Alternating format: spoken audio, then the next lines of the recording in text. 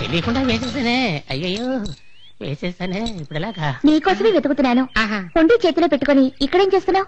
హుండీ అంటేనే నాకు భయం వేస్తుందమ్మా దాని వల్ల వచ్చి చిక్కొచ్చింది. ఏమిటి? అలవాటుగా నాకు వచ్చే ఆదాయంలో కొంత భాగం నీ హుండీలో వేస్తాను కదా. అవును. ఈ రోజు హుండీలో చిల్లర వేస్తున్నానా? నా వేలుకున్న ఉంగరం జారి హుండీలో పడిపోయింది. ఆ, హుండీలో వేసింది నీకే కదా సొంతం?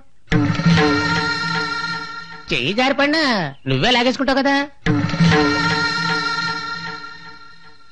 మా అమ్మ జ్ఞాపకార్థం పెట్టుకున్న ఉంగరం ఇక మీదట నాకు లేదు. ఇంతేగా విషయం? దీనికి ఎందుకు దిగులు పడతావు? హుండీలో వేసింది నాకేగా చెందుతుంది. అది నేను నీకు తిరిగిస్తాను. తీసుకో. చాలా సంతోషం తల్లి. నువ్వు మనసు పెడితే అన్ని సమస్యలు తీరిపోతాయి.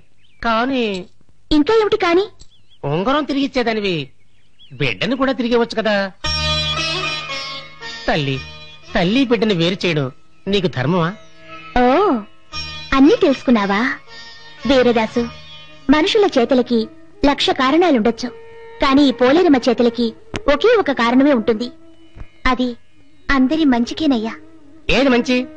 బిడ్డ కన్నవాళ్ళది కాదు. నాదేని నువ్వు అంటున్నావే? అది మంచిదా? ఒక తల్లి మనసును బాధ పెట్టేది దయ్యం అవుతుంది కానీ దేవత కాదు. చాలా ఆపు. జరిగింది జరగబోయేది. ఏది నీకు తెలియకూడదు. ఎందుకంటే అది దేవరహస్యం. ఏంటిది? నాకు తెలియకూడదా?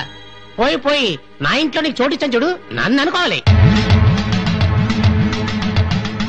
నేను ఫస్ట్ నుండి నీకు దండకు తిండి పెట్టినందుకు చెప్పుతో కొట్టుకోవాలి.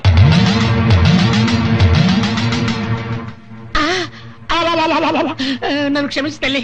నీ మనసు రాయిందని ఏదో తెలియకపోయాను నువ్వన్న దాంట్లో తప్పేమీ లేదు. రాయని నేను రాయని. ఒక తల్లిగా ఇక్కడికొచ్చాను. మీరే నన్ను రాయని చేశారు. ఇక ఆ పాప విషయంలో ఏం జరిగినా నేను రాయని.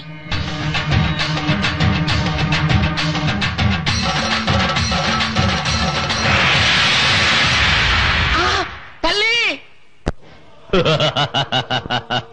అమ్మవారు రాయైంది ఇక మీదట నన్ను ఎదిరించడానికి ఏ శక్తి లేదు. నలభైవ పౌర్ణమికి సత్యాన్ని బలిచ్చి పూజ ముగిస్తాను.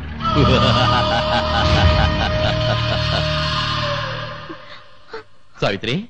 సావిత్రి? ఏమైంది సావిత్రి? ఎందుకు ఏడుస్తున్నా? ఏడవకుండా ఏం చేయమంటారు? నేను వద్దే వద్దని ఎంత చెప్పినా మీరే వెరకుండా అమ్మవారి బొమ్మని కోరిట్లో వేయమన్నారు. నేను వేశాను. దాంతో ఆ దేవుడి కోపం వచ్చి విస్తరపోతుందండి ఏంటి వాగుతున్నా? నేనెప్పుడు అమ్మారు బొమ్మను కోనేట్లో వేయమని చెప్పాను? నిజంగా మీరే వేయమని చెప్పారు. నేను నిజంగా చెప్తున్నాను. ఆ దేవత బొమ్మను నేను కోనేట్లో వేయమనలేదు. మీరు చెప్పలేదా? మరి మరి ఆ, ఆ, ఇప్పుడు అర్థమైందండి? ఇదంతా ఆ మంత్రగాడి పని. వాడిని ఇంట్లో చేర్చకండి. వాడేవో మాయలు మంత్రాలు చేస్తున్నాడన్నా మీరు వెళ్ళలేదు. చివరికి ఆ మాయావి మీ రూపంలో వచ్చి నన్ను మోసం చేశాడండి నో ఆయన గురించి నాకు బాగా తెలుసు. ఆయన చాలా మంచివాడు. ఆయన మన సమస్యలు తీర్చడానికి ఇక్కడికి వచ్చాడు. హ, ఆయనంటే నాలా వేషం వేయడబెట్టి ఇట్స్ ఇంపాసిబుల్ అది కాదండి. సావిత్రి ఇరవై నాలుగు గంటలు ఆ దేవత ఏం చేస్తుందో అని ఆలోచించి ఆలోచించి భయపడి చస్తున్నావు. ఆ భయంతో నువ్వేం చేస్తున్నావో ఏం మాట్లాడుతున్నావో అసలు నీకే అర్థం కావట్లేదు. ఛే, ఈ కొంపలో మనశ్శాంతి లేకుండా పోయింది.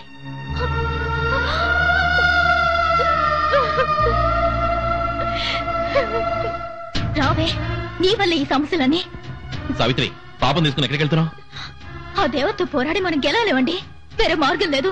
పాపం తీసుకెళ్ళి పోలేరమ్మ దగ్గర అప్పగించేస్తాను నీకేమన్నా పిచ్చి పట్టిందా? కన్న తల్లి ప్రాణమనేస్తుంది కానీ కన్నబిడ్డను మాత్రం ఇవ్వదా నువ్వేగా అన్నావు? అన్నాను. అలా అంటే తప్పని నాకిప్పుడు అర్థమైంది. పాప కంటే నాకు మీ మనసు అంతే ముఖ్యం. సావిత్రి నువ్వే ఇలా మాట్లాడుతున్నావు? నేనే కాదు నా పరిస్థితులు ఎవరున్నా ఇలాగే మాట్లాడతారు ఇలాగే ప్రవర్తిస్తారు. దారదులండి దయచేసి నేను చెప్పేది విను సావిత్రి నువ్వు వెళ్ళొద్దు. అడ్డు రాకండి. అడ్డొస్తే నన్ను ప్రాణంతో చూడరు.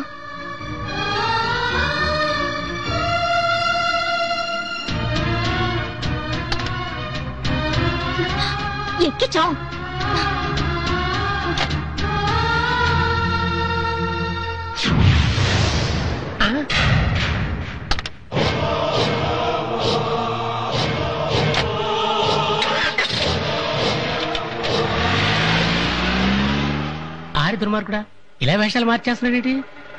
సావిత్రి చెప్పిన మాంత్రికుడు వీడేనా?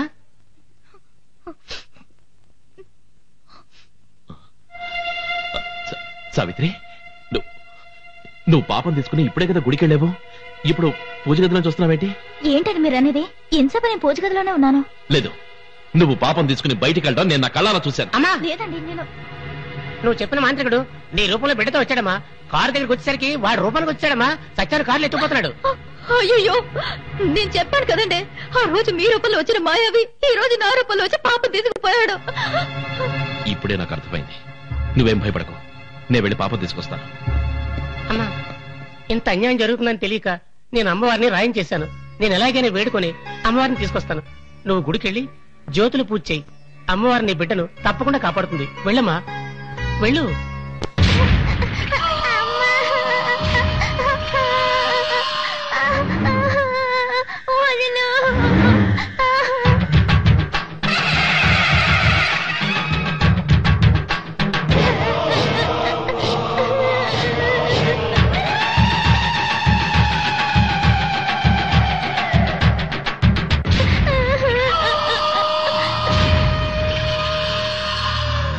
పాపని కాపాడతానని ఇంట్లోకి దూరి చివరికి నమ్మించి మోసం చేసి పాపను ఎత్తుకొస్తావా? నన్ను చంపడానికి పుట్టిన బిడ్డని చంపకుండా వదులుతానా? ఈ రోజు నలభయో పౌర్ణమి. పూజ బలితో పూర్తవుతుంది.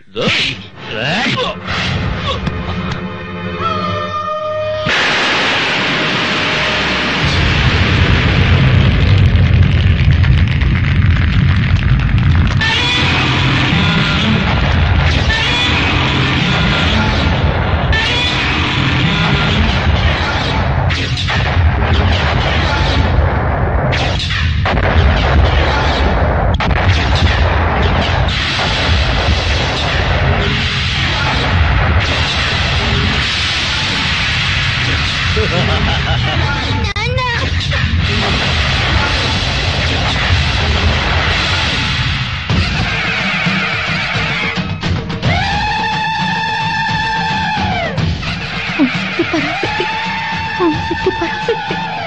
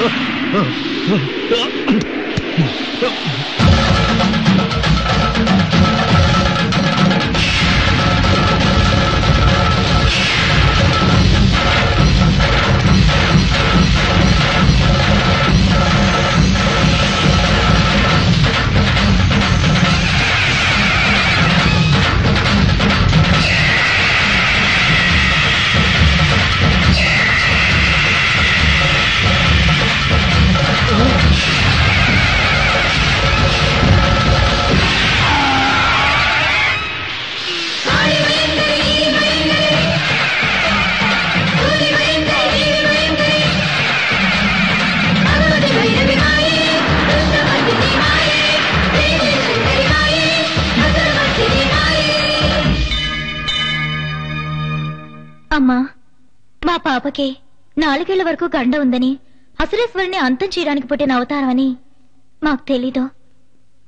ఆ దుష్టుడి నుంచి కాపాడడానికే మా పాప వెంట నీడలా ఉన్నామన్న విషయం మాకిప్పుడే అర్థమైంది. విధి దేవరహస్యం. అది తెలుసుకుంటే మనుషులు తట్టుకోలేరు. అందుకే పాపని హుండీలో పడేలా చేసి నేనే తనను కాపాడుకుంటూ వచ్చాను.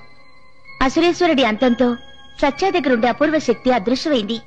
ఇక పైన ఈ బిడ్డ నీకేనమ్మా సొంతం? ఈ బిడ్డ నీకుల్లోనే ఉండాలి. మా పాపని మనస్ఫూర్తిగా నీకు అప్పగిస్తున్నాను. ఇప్పటికైనా ఒప్పుకున్నావుగా? అది చాలు.